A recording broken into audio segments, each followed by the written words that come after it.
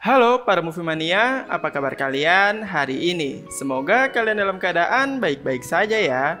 Pada kesempatan kali ini kita akan kembali melanjutkan pembahasan kita tentang serial drama Korea berjudul True Beauty.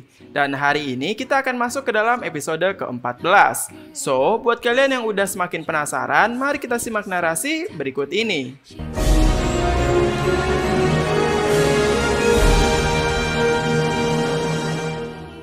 Di akhir episode kemarin, kita dikejutkan dengan kedatangan Jukyung ke sekolah tanpa menggunakan riasan apa pun. Seketika, semua anak pun menjadi heboh, sementara Jukyung dengan beraninya menghadapi itu semua dengan senyuman manisnya. Di pagi itu, awalnya Jukyung sudah bersiap berangkat sekolah seperti biasa, menggunakan riasan. Namun, entah mengapa, Jukyung mengurungkan hal itu dan pergi tanpa riasan. Setelah berdebat dengan sekelompok anak yang membulinya kemarin, Jukyung akhirnya mengumumkan secara luas hubungannya dengan Suho.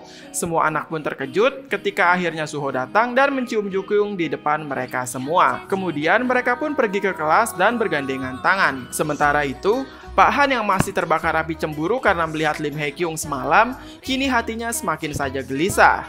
Kemudian Pak Han yang melihat mobil Lim Hae Kyung terparkir di samping jalan sekolah pun jadi marah-marah sendiri. Akan tetapi Lim Hae Kyung yang ke situ bersama dengan ayah dan ibunya pun jadi heran. Terlebih lagi ketika akhirnya mereka keluar. Pak Han pun jadi sangat salah tingkah. Sedangkan Jukyung dan Suho yang sedang duduk di taman pun jadi semakin mesra pasca pengumuman hubungan mereka. Sesampainya di kelas, Jukyung yang datang bersama Suho tentu saja membuat semua anak terkejut, termasuk Sujin, Sojun, dan Suah. Namun entah kenapa Suah masih tampak seperti marah kepada Jukyung. Sesaat kemudian, Pak Han pun datang dan kelas pun dimulai.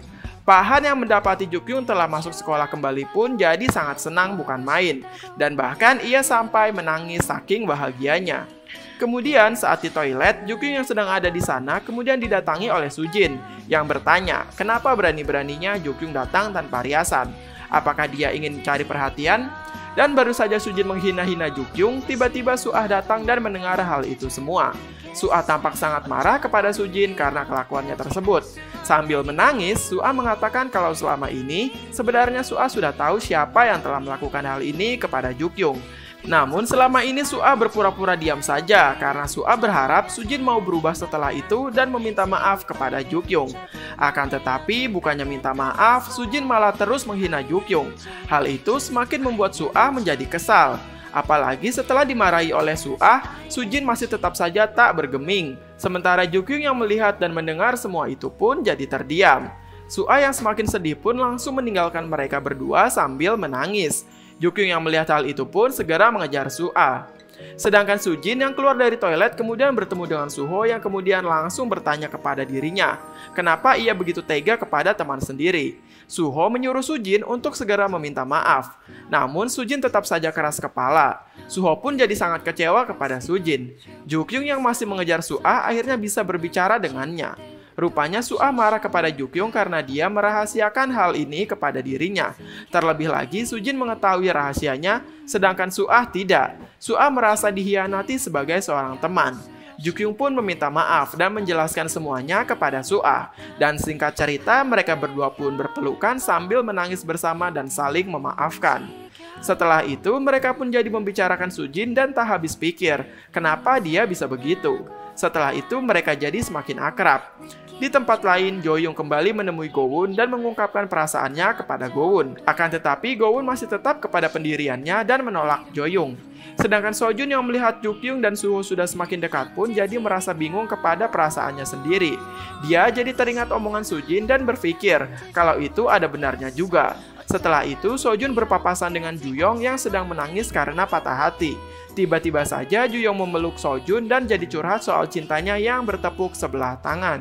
Mendengar hal itu, Sojun pun sangat bisa mengerti perasaan Juyong karena Sojun juga mengalami hal yang sama.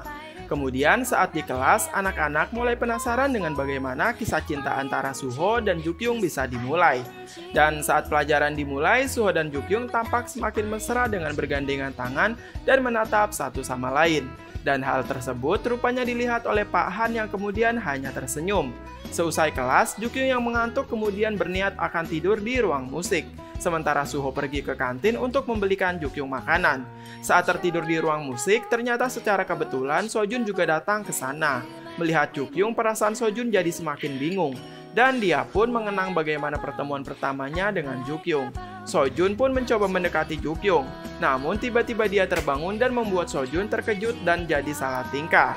Kemudian Sojun meledek Jukyung dengan mengatakan kalau selama ini dia tahu kalau kakak Suho yang dulu pernah menengoknya di rumah sakit adalah Jukyung. Kemudian Jukyung berterima kasih kepada Sojun karena dia sudah berusaha keras menghapus videonya di internet. Sepulang sekolah, Taehoon dan temannya mendatangi Suho dan sedikit meledeknya. Kemudian mereka iseng melihat ponsel Suho dan menemukan video rayuannya kepada Jukyung. Seketika mereka pun semakin meledek Suho. Dan Suho yang ingin pulang bersama Jukyung malah jadi tidak bisa karena Jukyung rupanya diajak oleh Suah untuk main bersama. Rupanya Jukyung dan Suah pergi jalan-jalan membeli album baru dan makanan ringan. Dan tiba-tiba saja mereka melihat Johemin yang rupanya sedang kembali ditindas oleh Semi dan kawan-kawan. Melihat hal tersebut, Jukyung pun tak bisa tinggal diam dan segera mendatangi mereka. Dan hal tersebut ternyata dilihat oleh teman Sojun yang bernama Kim Chorong. Sementara Suho kini sedang gelisah menunggu kabar dari Jukyung yang tak kunjung mengabarinya. Dan rupanya Taihun bersama teman lainnya sedang bermain di rumah Suho. Di tempat lain, Jukyung yang akhirnya membela Johemin, mereka pun kemudian menjadi berkelahi dengan kelompok Semi. Dalam perkelahian itu, tiba-tiba teman laki-laki Semi datang dan ingin menghajar Jukyung dan kawan-kawannya. Beruntung Kim Chorong datang dan menghentikan itu semua. Seusai berkelahi, Jukyung dan Suah pun mengajak Johemin untuk makan bersama. Dan tentu saja, Johemin pun mengucapkan banyak terima kasih kepada mereka dan akibat perkelahian tersebut barang Su'a jadi rusak. Namun beruntung Johemin punya barang yang sama dan memberikannya kepada Su'a.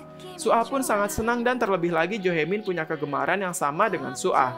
Seketika mereka pun jadi sangat akrab. Suho yang tak tenang karena belum dapat kabar dari Jukyung pun memutuskan mengirim pesan dan bertanya.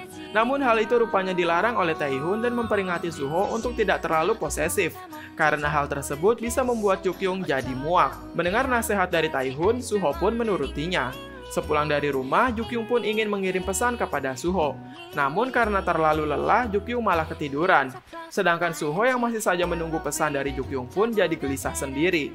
Suho yang sangat ingin menanyakan kabar Jukyung pun berusaha menahan diri agar tidak terlalu posesif. Sampai akhirnya Suho menunggu semalaman dan jadi begadang. Dia pun menelpon Taihun untuk meminta saran, namun Taihun hanya menyuruhnya untuk bersabar. Dan keesokan harinya, Jukyung baru menelpon Suho. Namun Suho tidak mengangkatnya karena ketiduran. Kemudian Jukyung yang pergi ke salon ibunya, ia mendapat hadiah berupa peralatan rias. Dan tak hanya itu saja, ibu Jukyung pun bahkan memberinya semangat dan dukungan penuh. Mendengar itu semua, Jukyung pun senang bukan main dan langsung memeluk ibunya. Karena perasaan gelisahnya, Suho jadi bermimpi buruk tentang putusnya hubungannya dengan Jukyung. Dan mimpi itu rupanya membangunkan Suho yang kemudian langsung memeriksa ponselnya. Suho pun terkejut mendapat panggilan tak terjawab dari Jukyung, dan dia pun segera menelpon Jukyung. Namun Jukyung rupanya sedang ada kelas makeup dan dia segera menutup telepon dan mengatakan akan menelponnya lagi nanti. Di kelas makeup tampak Jukyung menyimak pelajaran dengan baik dan terlihat sangat senang. Di tempat lain, Pak Han yang mabuk karena masalah cintanya dengan Lim Hae Kyung akhirnya teler dan malah dijemput oleh Lim Hae Kyung. Pak Han yang sedang mabuk pun tentu saja jadi berbicara melantur dan membuat Hae Kyung jadi tertawa. Sedangkan ayah dan ibu Jukyung yang sedang berbelanja di supermarket secara tidak sengaja bertemu dengan Columbus Park, orang yang telah menipu ayah Jukyung. Seketika mereka pun langsung mengejar Columbus Park. Lim Hae Kyung yang ternyata sedang mengurus Pak Han kemudian melihat ibu dan ayahnya sedang mengejar seseorang pun seketika membantu menangkap Columbus Park. Ayah dan ibu Ju Kyung yang melihat Pak Han sedang bersama dengan Lim Hae Kyung pun akhirnya sangat terkejut. Sementara di tempat lain, Sojun mendatangi Suho yang sedang berlatih judo di tempat latihannya. Sojun yang sedang bosan pun menantang Suho untuk bertanding dan bertaruh yang kalah akan melakukan permintaan yang menang. Namun Suho yang lebih terlatih pun tentunya dapat memenangkan pertandingan. Karena kalah dari Suho, Sojun pun menerima permintaan dari Suho yang memintanya untuk kembali menyanyi di depan umum. Dan Suho rupanya juga merekam penampilan Sojun. Setelah bernyanyi, mereka pun makan bersama. Dan Suho bilang kepada Sojun kalau dirinya ingin sekali Sojun kembali bernyanyi secara profesional. Mendengar permintaan Suho, Sojun pun terdiam. Dan Suho kemudian bertanya kepada Sojun, seandainya dia menang, hal apa yang ingin ia minta dari Suho? Sojun pun menjawab kalau seandainya dia menang, Sojun ingin meminta Suho menyampaikan perasaannya kepada Jukyung. Sojun ingin Jukyung menolaknya agar dia bisa move on dan melupakan Jukyung. Mendengar hal itu, Suho pun terdiam. Sementara di rumah Jukyung, ibu, ayah, dan Lim Hae-kyung sedang mengobrol masalah Columbus Park yang sepertinya tidak akan mengembalikan uang mereka. Dan kemudian mereka mulai membicarakan hubungan Hae-kyung bersama Pahan, yang rupanya Pahan yang teler mereka bawa ke rumah. Sepulang kelas makeup, Jukyung pun menemui Suho di sebuah restoran, dan tampaknya Suho sedang kesal kepada Jukyung. Namun Suho tidak bisa mengungkapkan itu semua dan hanya ia pendam di dalam hati saja. Suho malah mengatakan kalau dirinya sangat mencintai Jukyung dan mereka pun hanya mengobrol biasa saja. Kemudian Suho mengajak Jukyung untuk jalan-jalan setelah ujian tulis nanti. Jukyung pun setuju dan meminta untuk pergi ke pantai nantinya. Sementara itu, Sujin yang telah melewatkan beberapa kali sesi bimbingan belajar kemudian mendapatkan omelan dari ayahnya. Karena bertingkah, ayah Sujin pun meminta ponsel Sujin untuk disita. Namun Sujin menolak dan membuat ayahnya semakin marah. Akan tetapi Sujin yang stres akhirnya berteriak dan mengejutkan semua orang. Keesokan harinya, Pahan yang telah sadar dari mabuknya semalam akhirnya terbangun dan sangat kaget ketika tahu dirinya sedang berada di rumah Jukyung. Namun begitu, seluruh anggota mengajak Pahan untuk makan bersama. Jukyung dan Juyong pun tentu saja meledek Pahan. Meski begitu, mereka kini jadi semakin akrab. Sementara di sekolah, Sujin yang berangkat ke sekolah sepertinya ada sesuatu yang terjadi padanya. Karena entah mengapa semua anak menatap Sujin dengan sangat aneh. Dan ketika sampai di kelas, semua anak semakin menatap Sujin dengan sangat sinis. Tiba-tiba seorang anak menyuruh Jukyung untuk memeriksa berita di internet. Ternyata berita tentang kelakuan Sujin yang telah menyebarkan video temannya sendiri kemarin telah tersebar di internet dan seluruh warganet kini menghujat Sujin habis-habisan karena telah melakukan hal itu. Termasuk semua anak-anak di sekolah pun jadi memandang Sujin dengan sangat sinis dan tidak menyangka Sujin tega melakukan hal itu kepada temannya sendiri. Mengetahui aibnya telah tersebar di internet, Sujin pun tak menyangka dan tak bisa berbuat apa-apa. Sujin pun jadi teringat perkataan Sojun tempo hari yang mengatakan kalau dirinya sendirilah yang nanti akan menghancurkannya. Tak tahan dengan semua ini, Sujin pun langsung bergegas pergi dan meninggalkan sekolah. Namun Jukyung tetap mengejar Sujin dan berusaha memperbaiki keadaan. Akan tetapi hati Sujin sudah terlalu keras dan tetap mengabaikan Jukyung meskipun Jukyung berusaha memperbaiki persahabatan mereka. Jukyung pun jadi sangat sedih ketika mengingat semua kebersamaan mereka dahulu.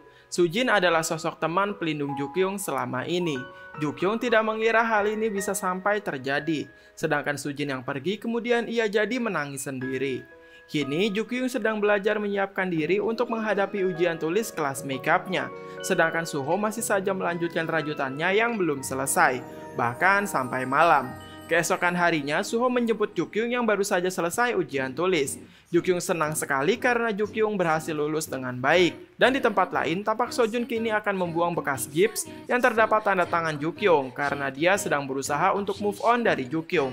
Kemudian Sojun menelpon Jukyung dan memintanya untuk bertemu. Jukyung yang sedang bersama Suho pun meminta izin Suho dan Suho memberikan izin karena Suho tahu bagaimana perasaan Sojun. Begitu ketemu, Sojun langsung mengajak Jukyung untuk pergi makan bersama. Di sana Sojun curhat soal hatinya. Sojun mengatakan kalau ada gadis yang ia suka, namun ia harus merelakannya karena gadis tersebut sudah punya pacar. Sojun pun meminta pendapat Jukyung bagaimana seharusnya ia menyikapi keadaan ini. Jukyung pun malah menyarankan agar terus saja memperjuangkan cintanya. Namun sesaat kemudian Jukyung jadi mengira kalau gadis tersebut adalah Suah. Dan tentu saja Sojun pun menyangkalnya dan hanya bilang kalau itu rahasia. Dan mereka pun melanjutkan makan bersama. Keesokan harinya, Jukyung kini bersiap untuk pergi ke pantai bersama Suho sesuai rencananya tempo hari. Suho pun berangkat, namun dia meninggalkan ponselnya di rumah dan tidak membawanya. Sementara itu, ayah Suho yang kini sedang di Amerika, dia menyiapkan restoran untuk dia makan bersama Suho pada saat kembali nanti. Dan dia pun mengirimkan referensi restorannya kepada Suho. Namun tiba-tiba ayah Suho mengalami sesak nafas dan kepala yang terasa sangat berat. Dan pada akhirnya dia pun pingsan. Kemudian Jukyung dan Suho pun bertemu di terminal sebelum sama-sama berangkat ke pantai. Tak lupa Suho memuji penampilan Jukyung dan memberikan sebuah shawl yang selama ini Suho rajut sendiri. Setelah itu mereka pun berangkat. Sebelum ke pantai, mereka terlebih dahulu berjalan-jalan di peternakan dan untuk pertama kalinya, Jukyung mengunggah foto kebersamaannya dengan Suho ke sosial medianya. Setelah itu, mereka pergi ke sebuah kafe dan menggambar wajah pasangan masing-masing. Seusai dari kafe, barulah mereka pergi ke pantai dan bersenang-senang. Sedangkan di kedai kopi, Sojun yang masih saja bekerja di sana tiba-tiba didatangi oleh Lim Hae Kyung dan ternyata Sojun baru sadar kalau Lim Hae Kyung adalah kakak Kyung. Dan Lim Hae Kyung mendatangi Sojun karena video ia bernyanyi tempo hari yang direkam oleh Suho telah viral di internet. Dan ternyata Lim Hae Kyung sangat tertarik kepada Sojun dan menawari Sojun untuk masuk ke agensinya dan beralih profesi menjadi penyanyi profesional ketimbang terus bekerja di kedai kopi. Tak lupa Lim Hae Kyung juga mengatakan kalau Move Entertainment kini telah berubah dan tidak lagi seperti dahulu. Lim Hae Kyung pun menyuruh memikirkan hal ini terlebih dahulu. Dan tiba-tiba saja Sojun dapat telepon dari ajudan ayah Suho. Sedangkan Suho sendiri kini sedang bermain-main dengan Jukyung di tepi pantai. Suho yang tidak membawa ponsel rupanya tidak bisa dihubungi. Sedangkan ponsel Jukyung sendiri tampaknya kehabisan baterai dan mereka berdua pun jadi tidak bisa dihubungi. Sojun yang tak tahu kalau Suho dan Jukyung sedang pergi bersama pun mendatangi rumah Suho dan dia tidak ada di sana. Sepertinya ada kabar penting untuk Suho. Karena Suho dan Jukyung tidak bisa dihubungi, Sojun pun menanyakan mereka kepada teman-teman yang lain. Dan akhirnya Sojun tahu kalau Suho dan Jukyung sedang pergi ke pantai. Di pantai sendiri, kini Suho dan Jukyung sedang makan sambil mengisi ulang baterai ponsel yang habis. Tak lupa Jukyung juga menceritakan soal pertemuannya dengan Sojun tempo hari kepada Suho. Jukyung mengira kalau Sojun sepertinya suka kepada Suah. Suho yang mendengar hal itu pun hanya tertawa dan kemudian mereka pun makan. Sedangkan Sojun kini sedang dalam perjalanan menuju pantai bersama dengan ajudan ayah Suho.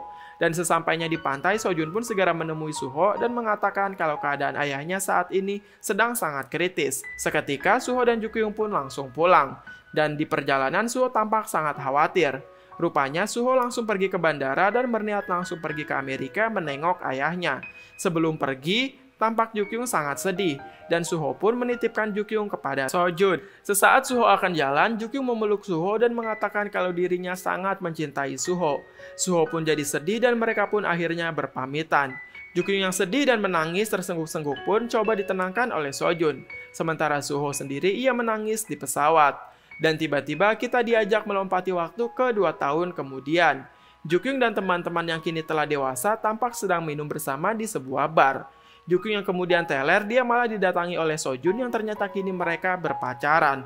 Loh, Kok begitu? Aneh kan? Dan film pun bersambung. Wah, sungguh akhir yang membingungkan ya bro. Mari kita cari tahu jawabannya di episode berikutnya ya. Sekian pembahasan kita kali ini dan sampai jumpa di episode berikutnya. Terima kasih dan dadah.